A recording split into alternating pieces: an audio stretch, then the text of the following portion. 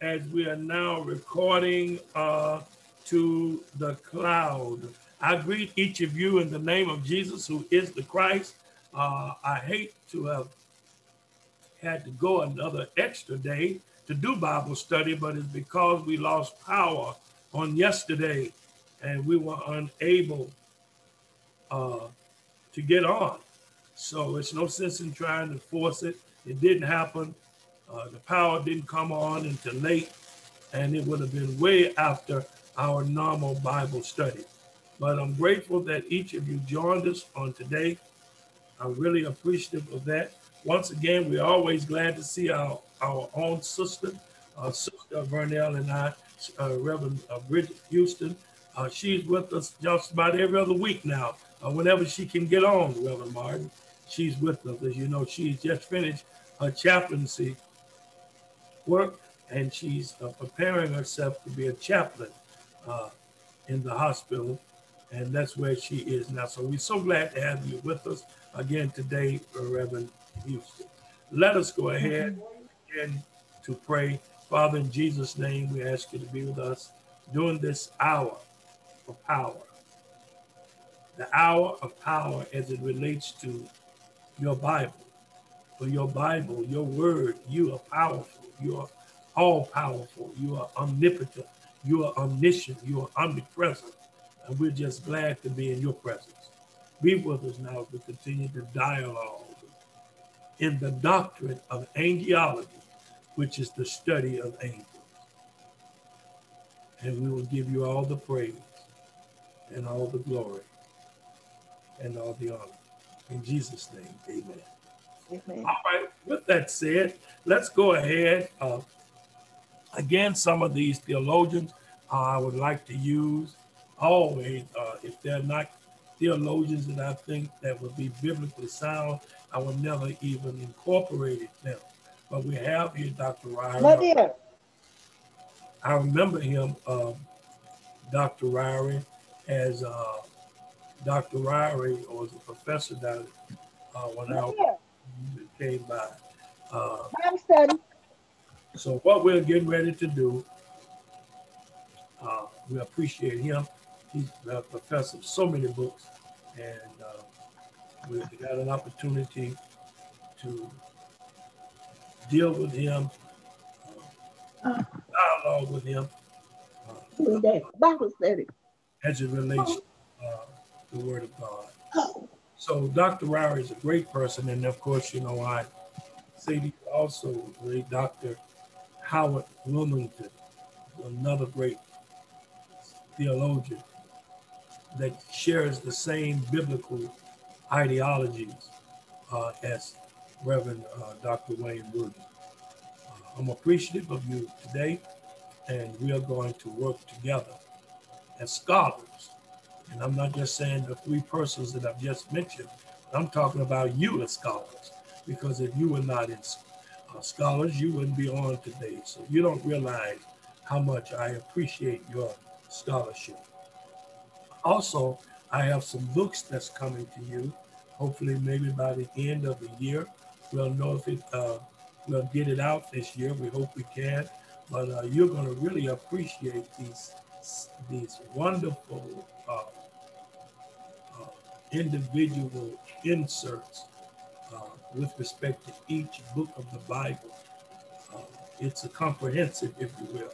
And I think, in fact, I know you would be most appreciative of it. Well, because it is Mother's Day coming up, I want to say happy Mother's Day to all of the mothers that are here, that are on this line. Uh, you are the wind that's beneath our wing. And I appreciate you uh, to the fullest. Uh, I appreciate all mothers, but uh, we don't need to negate we don't need to downplay uh, uh, the beautiful authenticity of women of color. Uh, you are all through the Bible. And I want to let you know before I officially get started, I'm going to send out a calling post. And I want every person on this line and others to send in something with respect to mothers. Uh, I'm going to do preach today, as you know. I'll normally preach uh, on Thursdays, and uh, I do my uh, recording to be uploaded for Sunday for YouTube.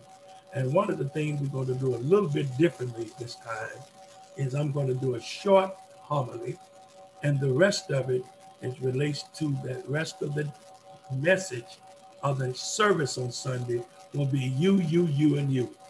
And the subject is going to be uh, like M dot, O dot, T dot, H dot, E dot, and R dot. And, and I'm going to have there with a colon the powerful, uh, the most powerful acronyms in the English language. And you, Reverend Martin, for M O T H E R, uh, anybody, well, I'm just using you for example, what you would do, is you would just simply have one minute. And we need to get that in by tomorrow. I want you to participate in it, Sister uh, Bridget. And you have one minute to get in one of the acronyms of mother. And as it relates to your mother, be it those persons who are alive or those persons who are going to be with the Lord. You have one minute. For example, Reverend Martin, you may you may use him. My mother was very meek. My mother was very mild. And you begin to tell us about your mother, and then you'll deal with Happy Mother's Day. You, Reverend, uh, you, Sister Banks, you may use um, T. My mother, M O T H T. My mother had a very tender heart, blah, blah, blah, blah, blah. And you'll begin to talk about uh, that she was tenderhearted, uh, she was thoughtful, she was truthful, and on down the line. And everybody will have a minute. Now, we want to list your mother's name, and we want to give you about a minute to speak, and you'll be part of Sunday's worship service. That's what the Holy Spirit told me to do this time. I'm going to do a short homily as it relates to the historicity of African American, uh, not African American, but women of color in the Bible. And I'm going to talk about how important they are in the Word of God. We want to celebrate them this Mother's Day. So I want to let you know, Happy Mother's Day. You have between today, you can download it so it can be ad airdropped to Sister Chelsea by 5 noon uh, on tomorrow evening. And then you will be, uh, uh, we will see you uploaded on Sunday for the regular worship service. Does that make sense, Reverend Martin?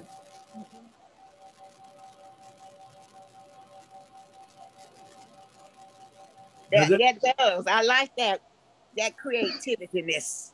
Yeah, well, that's well, that's what God told me to do. I wrestled with it, and the Holy Spirit told me we want to get everybody, men and women, involved. Yes, and all they need to do is use one of the acronyms of mm. M-E-R, uh, and speak about your mother for a minute. Chelsea will put your mother's name on it uh, at the top, and you'll see the name, mm. and you can begin to talk about a minute as it relates to your mother, live, beautiful. or if she's going to be with the Lord. So that's yeah, beautiful, beautiful. I wanted to say that because uh, so many people do not realize uh, how important people of color are as it relates uh, the essentialness of them in the Bible. Uh, uh, when we start looking at Ham, for example, some ignorant people, ignorance, would say Ham is deals with curse. And when we look at the Hebrew word for Ham, it literally means black. It has nothing to do with a person being being uh, cursed. Uh, uh, we can find that through various uh, ethnologists, the people that study ethnicity. So the various ethnologists, ethnologists, as we go back uh, and read that and study that, particularly those of you who are scholars, will discover that Ham does not mean that we are cursed, which is one of the three sons, as you know, of Noah. Uh, while I'm on the runway, uh, when we start looking at Jews, uh, I remember Dr. Copher, uh, one of the uh, Old Testament emeritus professors of the ITC, uh, the seminary where I finished, uh, majored in that. he was one of the great ethnologists as well. And one of the things that he shared, and I totally agree with his, his theological ideology, that uh, Jesus was not an African American as much as Jesus was a person of color. Uh, one of the things we need to understand, if we ever, if we ever get a chance to go, uh, we really plan to do it. We still may. You never know what God will be able, was is going to do. But we wanted to take a group over to Jerusalem, and those that would go over there would see some authentic Jews of different uh, shades of color light skinned Jews, um, Jews that look almost like Caucasians. You have Jews that look like perhaps my uh, skin color, and you also have some Jews that that is that is blacker than black, and they are authentic Jews. So we need to understand, yes, Jesus was a person of color, but I don't go along with some people saying that Jesus was an African American. I can't go with that because if, if I do that, for me, I, I would not be true uh, to my theology.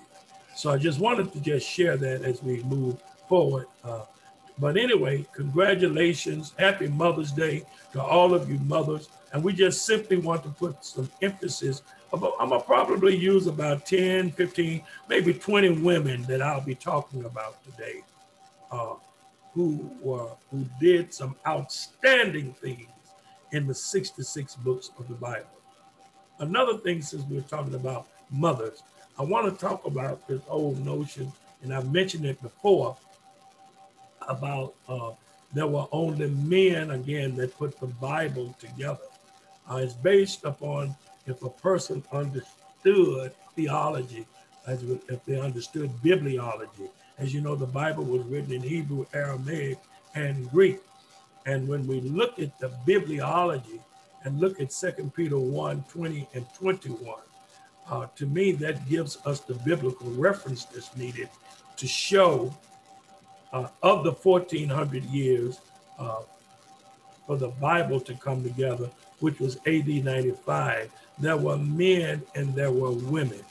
And whereas some folk are saying that they were all men and it and the Bible was man made.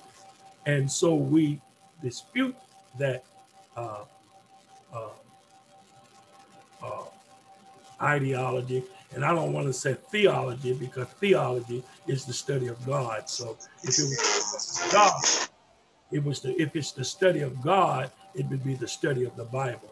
And in Second Peter 1 20, 21 says that no scripture is given by one's private interpretation, but men that were moved by the Holy Spirit. The Greek word men there is anthropos, which means humankind, and not the word anar. If the word was anar, A-N-E-R, nar, but I use the word anar, it literally means male. So if when we start looking at scripture, and if it was a nar, that means that all the scriptures were written by men, a male. But the Greek word there, instead of a nar, two Greek words for man. One is anthropos and the other one is anar. And if we look at the word anar, it literally means men and women. So clearly, of the 1400 years, of the 66 books of the Bible, of the 786,716 words, of the 31,301 verses, of the 1,189 chapters, had men and women that were involved in putting it together. We know that because of what the scripture said. That's why it's so important to make sure that we have proper hermeneutic, not based upon one's private interpretation. Second Peter 1 20 and 21. Knowing this, that no scripture, no scripture, no scripture, no scripture, no scripture. Remember now, Second Timothy 3 16 and 17 says, All scripture is given by inspiration of God. The Greek word inspiration there is the Greek word theopneustos. Theos is God, pneustos means breathe, And therefore, when we look at it, it says then that all, 2 Timothy 3.16, all scripture, that is from Genesis to Revelation, all scripture is God breathed. In other words, as we continue that, once again in 2 Peter 1 20 and 21, it simply says that knowing this, that no scripture of the all scripture that is God breathed is given by one's private, meaning humans, private interpretation. So my interpretation doesn't mean anything, and neither does yours.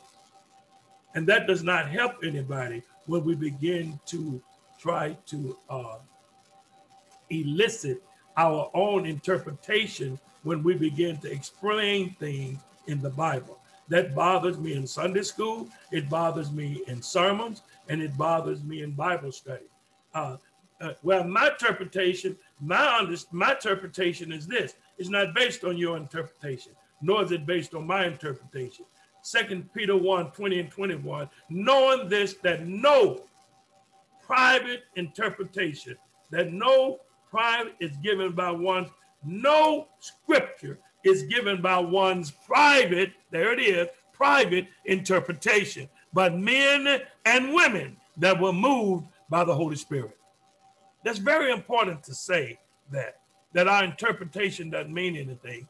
We have to make sure that we second Timothy, uh, uh, uh, we have to, uh, uh, Timothy uh, chapter 2, 15, study to show thyself approved, thyself approved unto God, unto God. If we approve under God, we got to have it approved under the Bible. The Bible is God, God is the Bible. And therefore, since that is the case, we have to make sure that we study to make sure that our approval is unto God. Then we can be work persons, not ashamed. Then we can rightly divide the word of truth. And in order to rightly divide it, the Greek word there, it means to cut it straight. In order for us to cut it straight, we have to do it according to the scriptures. Uh, does that make sense, uh, uh, uh Sister Russell? Uh, you do that every week in your Bible study. Don't get me wrong. I mean, on your Sunday school. But does that make sense? It can't be based on our private interpretation, but it has to be based upon us rightly, rightly dividing the word of truth. So I just needed to share that. Uh, yes. yes, go ahead. Yes, I agree with you wholeheartedly. Yeah, it's not about us. It's really not. It's not about us. That's why it's very important when we teach, when we preach. Uh, we need to make sure that we stay with the text uh, that we're preaching on. Uh, it's not based on that. Somewhere down the line, as you remember this, uh, Reverend Houston, in your homiletics class, somewhere down the line in that sermon, you need to go back and share with us what the text you're saying we, you need to explain the text that you had given us prior to your sermon. Is that right, Reverend Houston? Yes, that's that's right. I agree. Yeah. So that's all we're saying, everybody, is that uh, we have to make sure to do everything in our power to make sure that right we rightly divide the word of truth. So let's get right into it at 19 after the hour one of the things, uh, just as a uh, recap, if you notice, we start talking about chapters uh, 11 and 12, which are the only two chapters left in Daniel. But we were intentionally stuck when it started talking about this whole notion of angels, of angels, higher angels, ranking of angels. Who are these angels? And I asked the question to you scholars, uh, have we ever studied? I know we studied various doctrines because I think we studied uh, the doctrine of soteriology, which means the study of salvation, hamartiology, the study of sin, uh, eschatology, the study of end times, demonology, the study of demons, um, uh, ecclesiology, the study of the church, Satanology, the study of Satan, uh, and like I said, soteriology, the study of salvation. I think those are the ones we have studied with, as relates to biblical doctrine. But another biblical doctrine is angelology, which is the study of angels. So we've already checked out other parts of it uh, earlier. And what we want to do now is uh, continue the study. Uh, I've sent you the uh, handout uh, for our continuation of angelology, uh, as you can see on the screen, and it's dealing with page six on the handout that was sent to you. So let's dive right into it uh, because angels were very important in Daniel. Daniel spoke of it. And so let's continue now with angelology. Did you know that angels have a personality? That means that angels have personal existence and possesses the quality or state of a being person. I think that's very important that we understand that these, these angelic beings that God made has a personality. And because uh, angels have a personality, I'm convinced because God created angels that angels know what you are feeling and and and know if you're this and know if you're that know if you're feeling good and know if you're feeling bad uh, angels have a personality angels qualifies as personalities because they have these aspects of intelligence. They're very intelligent. They're emotional. They they know when you're sad. They know when you're happy, and they have a will. Satan, of course, and demons possess intelligence as well. We find that in Matthew chapter 8, 29, 2 Corinthians 11, 3, 1 Peter 1 and 12. Now, good angels, Satan, and demons show emotions uh, Luke chapter 2, verse 13, James chapter 2, 19, and you already know James 2, 19 says, demons shudder at the name of Jesus. But anyway, good, there are good angels, brothers and sisters, and there are also bad angels. Good angels, Satan and demons demonstrate that they have will. I told you that before. We can look at that Luke 8, 28 through 31, 2 Timothy 2, 26, and you and Jude 6, you can deal with that on your leisure or at your leisure. Therefore, they can be said to be persons.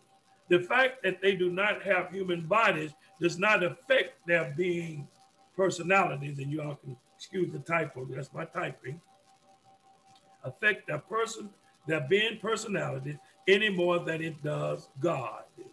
Now, angels are not omniscient. In other words, they are not all knowing contrary to what a lot of people say, the angels know this, the angels know that. That is not true. Angels are not omnipotent, angels are not omniscient, angels are not omnipresent, and angels are not immutable. Uh, they change not. The bottom line is angels get their power and authority from God. They do not know all things as God does. Matthew chapter 24, verse 36 tells us yet, yet they seem to have greater knowledge than humans. So why do you think that is? And I'm so glad you asked. I don't know what to do. Well, there are possible, three possible things, possibly, uh, that they are a little bit more knowledgeable than human beings. Number one, angels were created as a higher order of creatures in the universe than humans are. Number two, angels know more about God than humans do. James chapter 2, 19, Revelation 12, 12.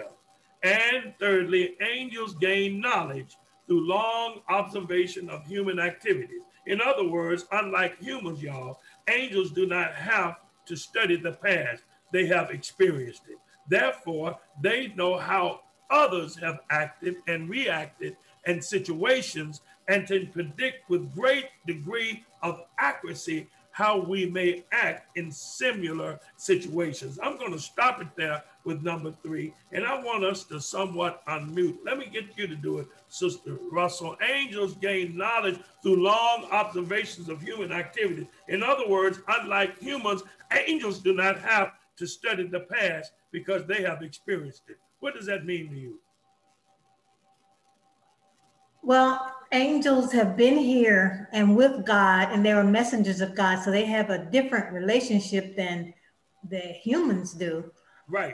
Angels uh, are God's, mo- most of them, well, we know that Satan was an angel and uh, before he was kicked out of heaven.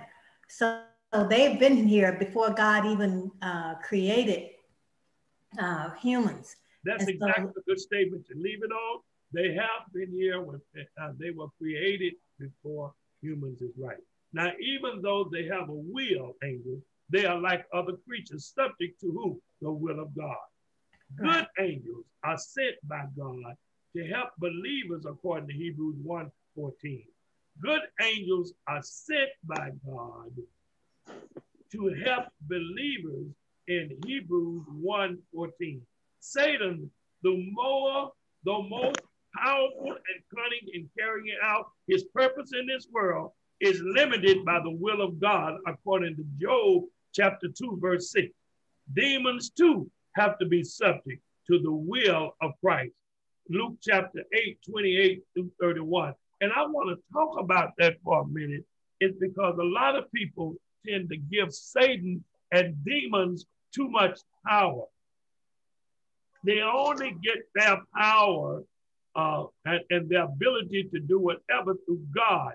If you remember in Job, in the book of Job, God says, Have you considered, told Satan, Satan in the Hebrew, literally. So he was really talking about Satan and not Satan. So excuse me there, because Satan is in the New Testament. That's the Greek word.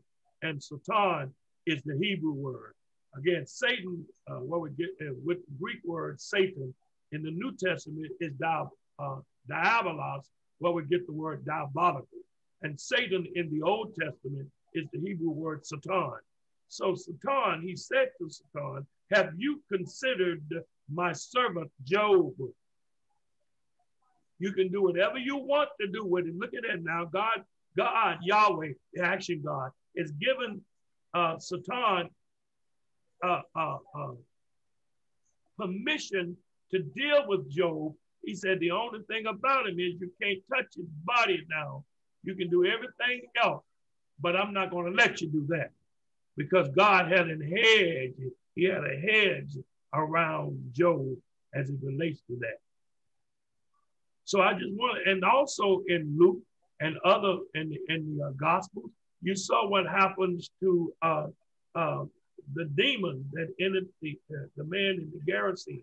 If you all remember that, over 6,000 makes up legions in the, in the Roman army. Now, legion is literally 6,000. And when the demons, the demonic man, the, the demoniac man said to Jesus, who was really minding his own business, he said, What do you have to do with me, Jesus? And Jesus was, if you allow me to stretch the muscles of my imagination, Jesus was saying, Man, what are you talking about? I'm minding my business, going on. You need to go on about your business. He said, Wait a minute, what's your name? My name is Legion, but we are many. The word Legion in the Roman there, he was thinking about Legion. That means that's an army of 6,000. So it was over 6,000 demons in this man. And the reality is, the Lord basically was saying, You allow me to stretch the muscles of my imagination. Man, that's not your name. Come on out of him, demon. Just come out of him right now. Come on out of him. Because God is God who created angels. Remember now, who created all of this. Come out of him right now. And when the demons came out of this man, notice what the scripture says. The scripture says that the demons asked Jesus, who is omnipotent and they are not, who's omniscient and they are not, who's omnipresent and they are not, he's immutable and they are not.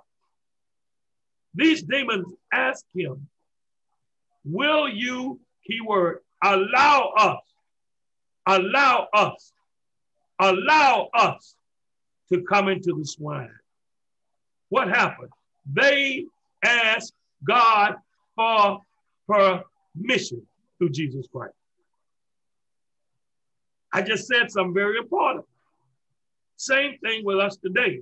Since we are blood washed and we are blood bought in Jesus Christ, we are connected to the body of Christ. Demons and Satan does not have to stay in you. They have no power when it comes to you. You got to give them permission to stay in you.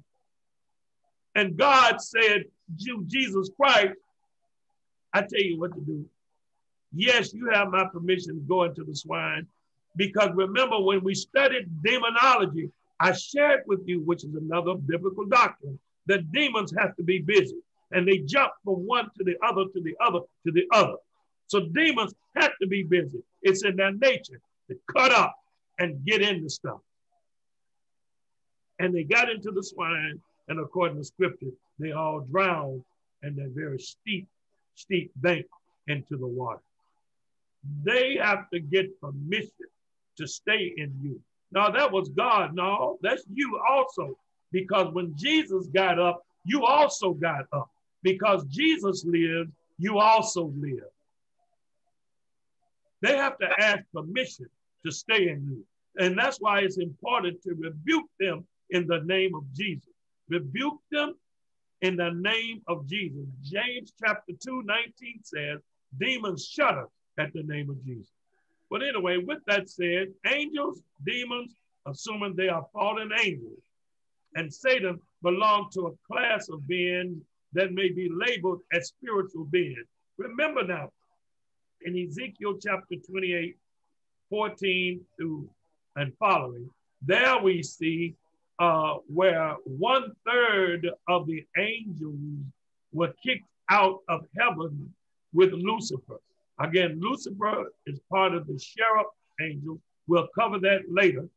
Uh, but they were kicked out of heaven because Lucifer wanted to be like God. And the Bible tells us in Exodus that the Lord says, God said in the book of Exodus, in the Ten Commandments, that he will have, he's a jealous God, and God is a jealous God, that God will have no other God before me. So he kicked him out of heaven, and his name changed from Lucifer, which means the anointed cherub, that means singular. When I say cherubim, that means plural. But anyway, the anointed cherub, which is Lucifer, was kicked out. And we were kicked out along one third of the angels that followed him was kicked out as well because they tried to do exactly what Lucifer uh, tried to do. When Lucifer tried it, they thought they would try it. So God kicked Lucifer, which name was changed from, uh, I mean, as long as he was Lucifer, he was fine. But then the name changed and we was kicked out to Satan in the Hebrew, Diabolos in the Greek, Satan in English, Slewfoot Williams. And they kicked him out and, and then Paul then picked it up years later in First Corinthians chapter 4, verse 4, when he said that and and Satan, actually Satan here, became the small letter God of this world. I just need to give you the historicity of that. And since you are biblical scholars, I think it's very important for us to realize and recognize uh, uh, the truth. John 8, 31 and 32, if you follow my teachings, you are my disciples indeed. And then you shall know the truth, and the truth shall set you free. So it's important for us when we see it, we need to make sure that we share it uh, in the agape love that God would want us to have. But we need to share in our own way that Lucifer is not a bad name. Lucifer means the anointed cherub which is the highest angelic angel next, which is a high angelic angel, and the highest being the archangel, whose name is Michael, which, will, which is the only archangel. And we'll study that a little later. So I'm saying that to say to you how important it is uh, to not say, to not say, uh, here's Lucifer. That ain't nobody but old Lucifer. Now imagine that down here now. Now remember now Lucifer was kicked out of heaven. That ain't nobody but Lucifer. Lucifer, I rebuke you in the name of Jesus. I rebuke you, Lucifer. No, no, no, no. Lucifer is a good name. So it shows one's biblical ignorance when persons begin to say Lucifer, you're rebuking Lucifer. Because Lucifer means the anointed cherub, which is a good angel. All right.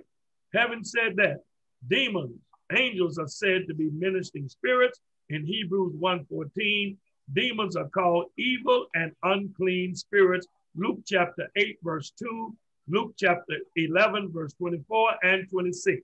And Satan is the spirit that now works in the sons of disobedience, according in Ephesians chapter 2, verse 2. And you know, there you'll find, oh, uh, when you look at Ephesians, where he was the prince of the air.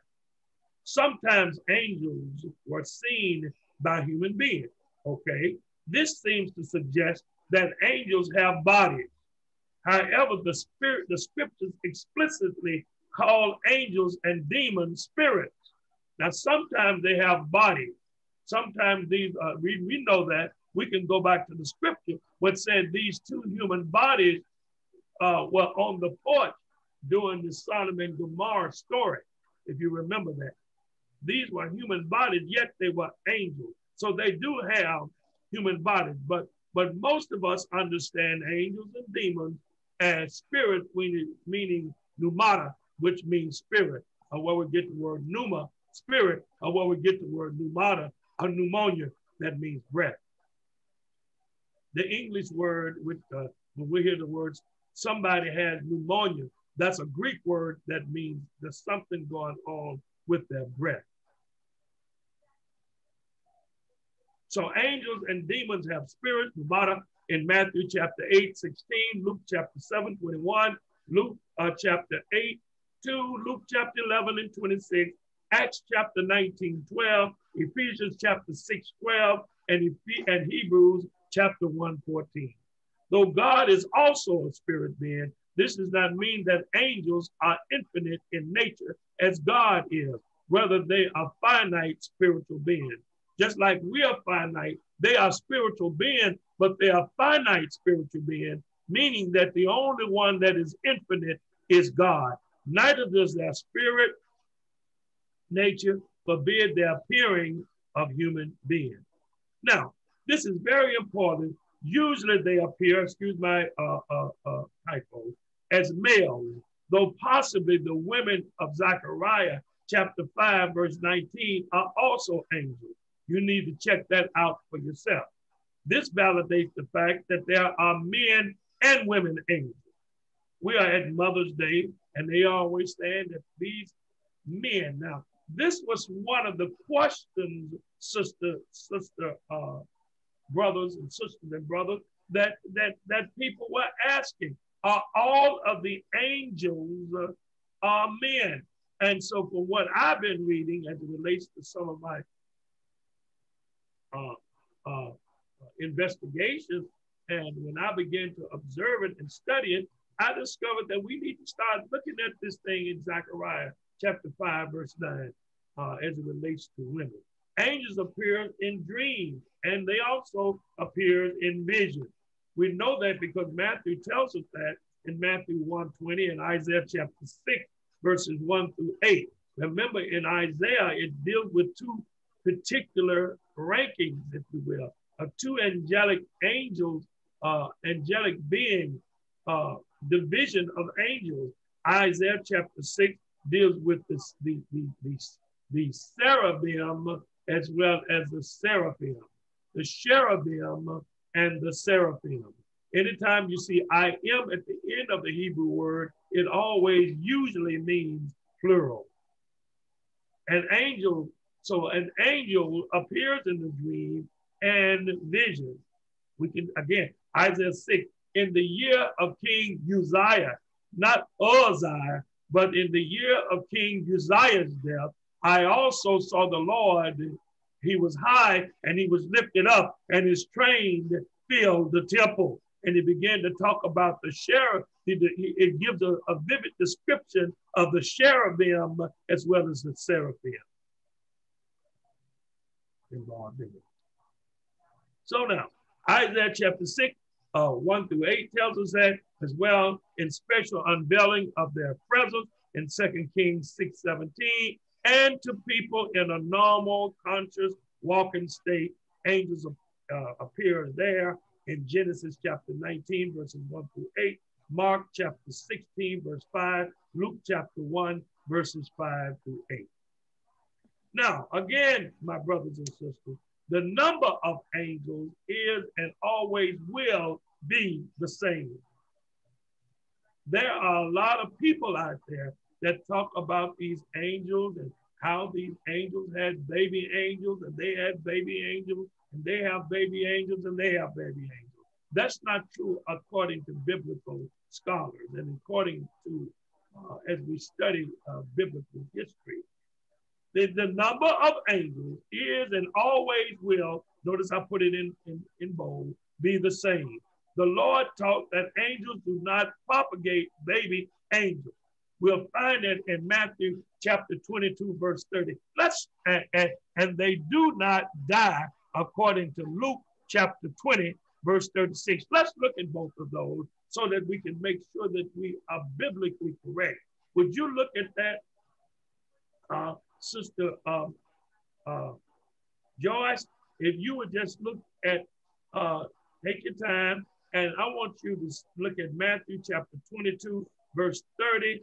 And then uh, if you, Sister uh, Bridget, would you look at Matthew uh, uh, uh, yeah, you look at Luke chapter 20, verse 36. Josh, you 22, verse 30 of Matthew, and Bridget, you Luke chapter 20, verse 36. What we're trying to ascertain here to see if they, to show in scripture that they do not propagate baby angels. And what that's what you're going to prove, Sister Joyce, and Sister Bridget, you're about to prove that they do not die. Luke 20, 36.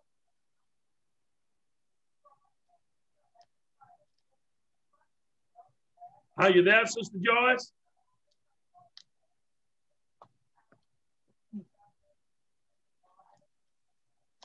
Sister Piggy, she muted.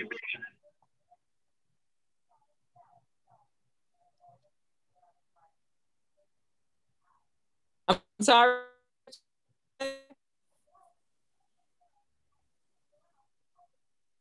Is she muted? Sister Joyce, are you there? Yeah, she's muted. All right, let's go on and uh, Sister Daisy Banks, will you pick that up, please? Matthew 22, 30. Very interesting. Okay, Matthew 22, 30. Right.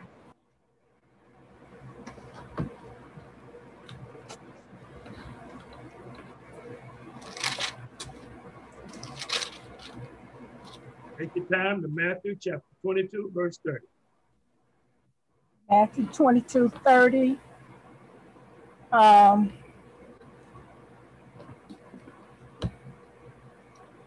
and said, if we had been in the days of our father,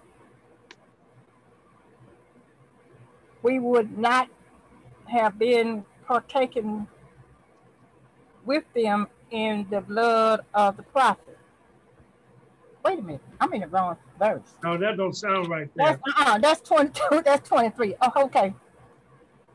For the for in the resur- for in the resurrection.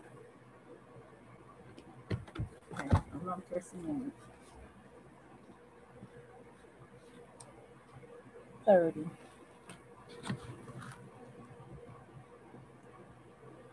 In the resurrection, they are Neither married nor are given in marriage. in marriage. Uh-huh. That are as the angel of God in As the heaven. angels of God in heaven. They do not die as well, and Christ proclaims existence of angels, which uh, the Sadducees uh, uh, deny. because they don't believe a Sadducee in the resurrection. That's the context in which you were talking about. But anyway, go on and let's look at the next one, sister. What do you have there? Okay, Luke um, chapter 20, verse 36 says, And they will never die again.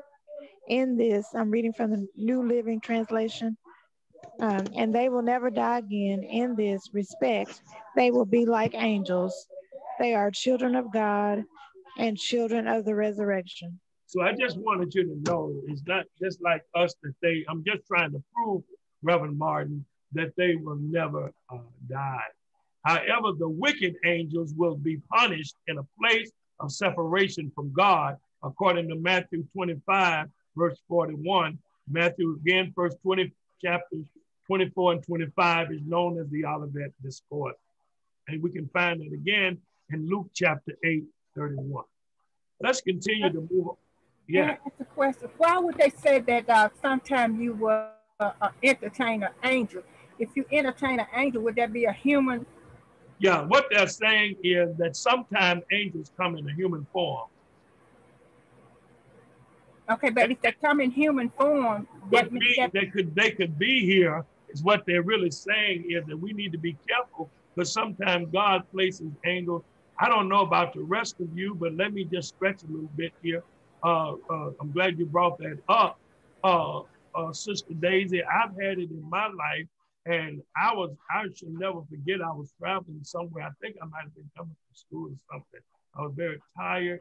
And whatever the case was, um, uh, anyway, I was in the store and I never shall forget, I, I stopped to get a Coca Cola and I think I got me a uh, what do you call that? Uh,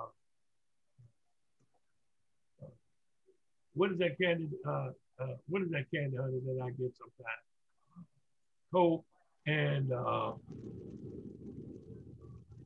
uh, Baby Ruth or whatever it was. But anyway, I would stop, and, and what happened is there was some really bad danger uh, that was going on uh, at the place where I was supposed to be going to. And the bottom line is, I went up to that person. They said, You really need to go uh, this direction uh, uh, and something of that nature. I can't remember just right off, but I remember my seminary days. And when I got back to find that person, I didn't see that person. I'm just speaking about me now. I'm just talking about me. I didn't see that person get no car. I didn't see him do nothing. All I know is when I went the other way, it was so because it was major danger and people and there someone got killed right there at that very spot in that area where I was supposed to go. That has happened in my life. I, I, I consider those people to be angels to me, uh, Sister uh, Banks. I, I really did not see it. I know I wasn't crazy. Uh, I wasn't drunk. I'm just here to I'm just here to tell you that I saw. I'm telling you that something happened. Uh, and through that person, I went back to look at that person again. That person was gone no car. I didn't see nothing. I went all through that store looking for her, but it could just be me. And then, so therefore, I'm sensitive when it said it could be angels unaware. I would do an extensive uh, exegesis on that next time to make sure that I'm correct. But I think that that's what they're speaking of, Sister uh, um, Daisy. What do you think, um, uh, Reverend Houston? What do you think? Be careful how we entertain strangers because they could be angels unaware. I agree. I've also had some experiences where I, I believe that uh, it was an angel working in human form. So yeah, I definitely agree. Yeah, I, I believe that. What about it, Reverend Martin? Have you experienced that in your lifetime? I have in some form or another. Um, feeling that I think I shared with you about the story about those kids that came through here or didn't have any food. And then I fixed it, let them go. And then before they got too far up the street, I ran to the door and asked them to come back because I remember that verse about be careful because you might be entertaining angels. But I do believe that they are. And just like in um, um, when the angels was in Sodom and Gomorrah, they Yeah. were in the form of human. So that, I think it's possible. Well, there you go. That, that's your biblical reference right there because they were definitely human beings. Because they, you know, I don't know if they had had wings and all of this kind of stuff on, and that's why people make a mistake when they say everybody's supposed to have wings on to be an angel. And you know, I don't think that those guys uh, who really love those those handsome men, I don't think they would have wanted them as much. They wouldn't have been as attractive to them had they had a lot of wings and all of this stuff on. What do you think about it, Reverend Martin? That's just me. I don't think that they, I think they would say, wait a minute, I'm scared of these folks. And it's particularly if they start flying and all of that kind of stuff, of flapping their wings. I'm almost sure that they I don't want to be bothered with that. But these men were handsome and they were, they were, they had it going on like a neck bone. And they looked at them, they said, he's the man, why don't y'all take these men, women? I got two girls that are virgins that never knew a man. I will Yeah. give them to you. But these two men on this porch, I'm responsible for them. In those days, they took have, they took guests very seriously, and they believe. And, and if you come to 104 Rodenwood, uh, uh, Sister Bridget would know this, who visited us not only here, Miss Reverend Martin, but she's visited us in in, uh, in Durham, North Carolina. And whenever people stay here with Burnell and Wayne, we take care of you. You are our special guest. You're not just a regular visitor here. And I do the same thing, and I believe in that in the church. I don't believe in you going to a church building and you have church members that are there and some people come in and you treat them like visitors. They're not visitors. These people thought enough of us to come to our church and be a part of us. And therefore, I believe that they should be guests and not visitors. Does that make sense? It does. Yeah, so we we are ought to treat them, right, we ought to treat them like guests. So the Bible gives little specific evidence about the original state of the angel, though we know that when God finished God's work of creation, God pronounced everything to be good in Genesis chapter 1, 31, Jude chapter and Jude chapter 6 also indicated that originally all angels were holy creatures. Originally, every one of them were holy creatures. Some were elect in 1 Timothy 5 21, and others sinned in Second uh, Peter 2 and 4. We can clearly see that some sinned when some of them tried to follow Lucifer, who was kicked out. One third of them sinned. No human being can ever count the number of angels, Sister Banks, that exist.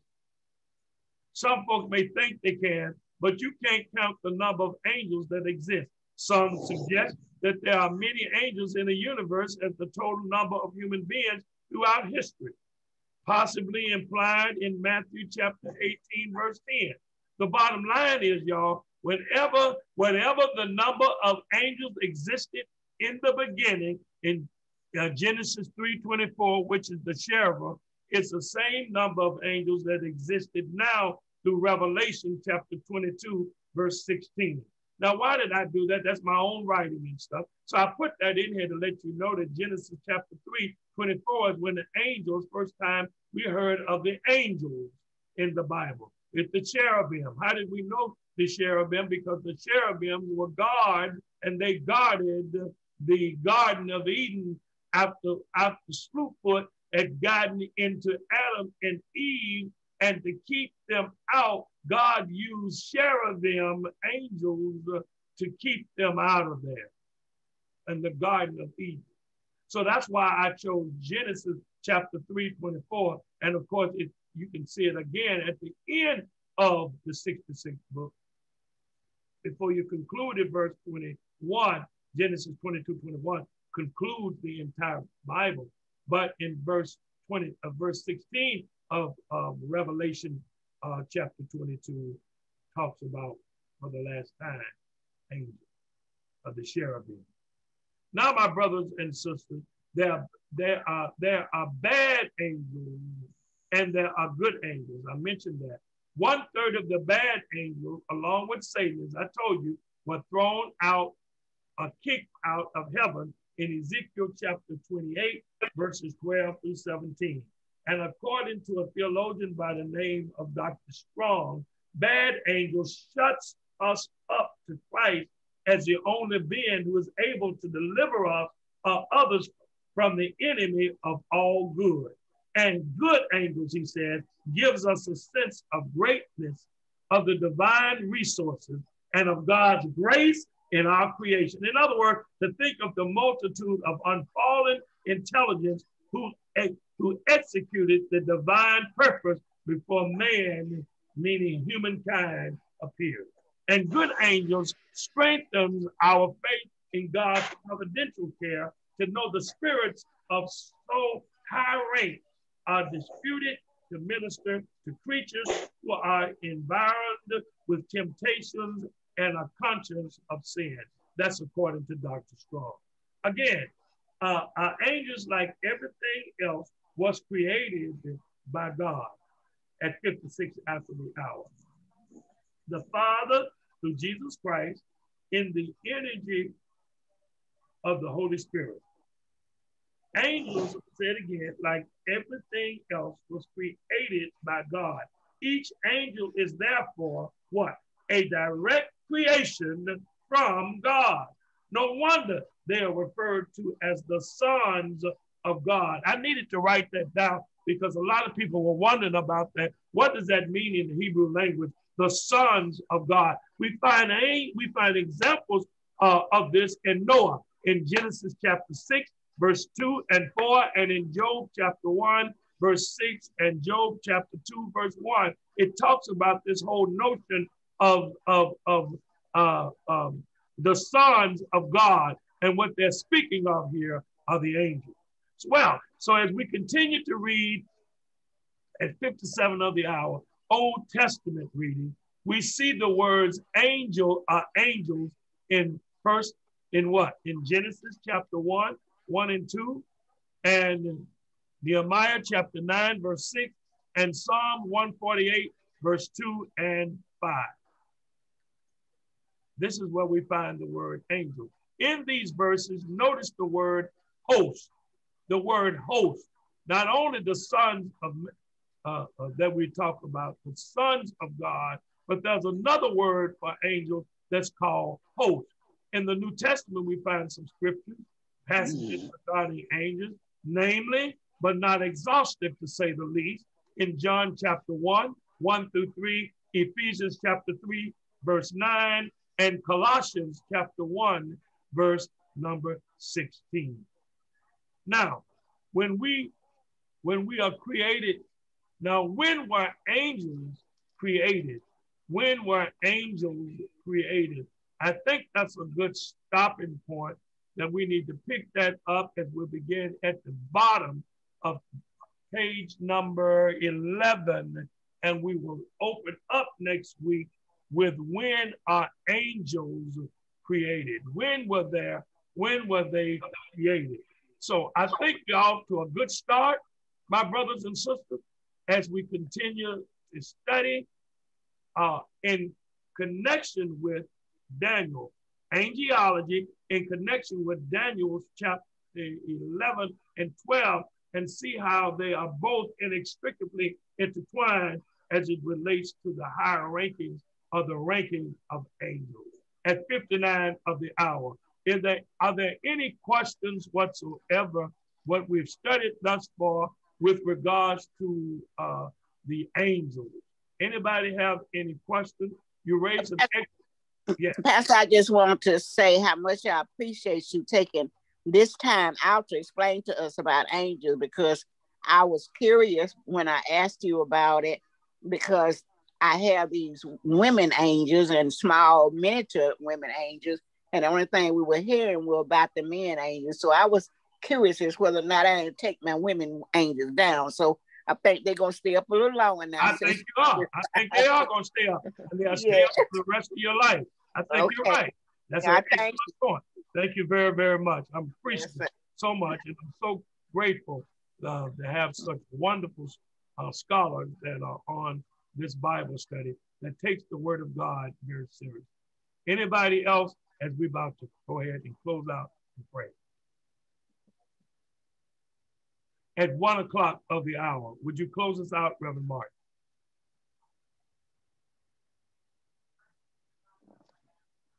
Let us pray. Oh, our Father, our protector, we just praise your holy name. Lord God, we thank you. We thank you for the dedication of your servant, our pastor. Thank you for things that he's teaching us that we probably would have had to pay a lot of money to get, but God, through you and his knowledge, we just thank you for him. Bless everybody that's on this, this uh, virtual call today. Bless them individually and collectively. Bless those that are here and those that wanted to be, but they are not for some reason. We pray that you continue to bless us through this day. And we just want to say we thank you for your protection through this week and keeping us away from the being home from the the, the, the storms. And we pray that you continue to hold us in the palm of your hand and continue to bless us, Lord, in a mighty way. And we love you and we glorify you. We give you all the praise and the glory. In Jesus' name we pray. Amen. Amen. So thank you so much. Before you all leave, I want to thank, uh, we, we want to thank the Lord for what the Lord is there. It was a serious tornado that come to me yesterday. It was very serious, very yeah. serious, but I want to let you know uh, that God is faithful and God took care of us. This day, I don't know if anybody, they said there was no deaths or uh, casualties, from what I hear in the whole state uh, in this area. And but it was a major tornado uh, that came through here, and several people are still without lights. So we praise God for what God has done, and we thank God for God's protection. Uh, let me uh, uh,